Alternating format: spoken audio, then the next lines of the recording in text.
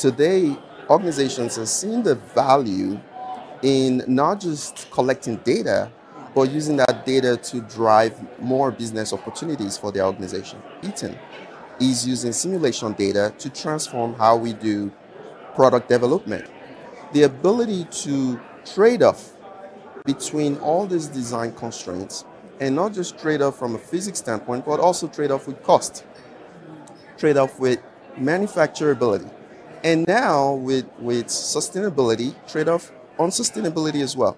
So our ability to do that really relies on running hundreds of simulations programmatically.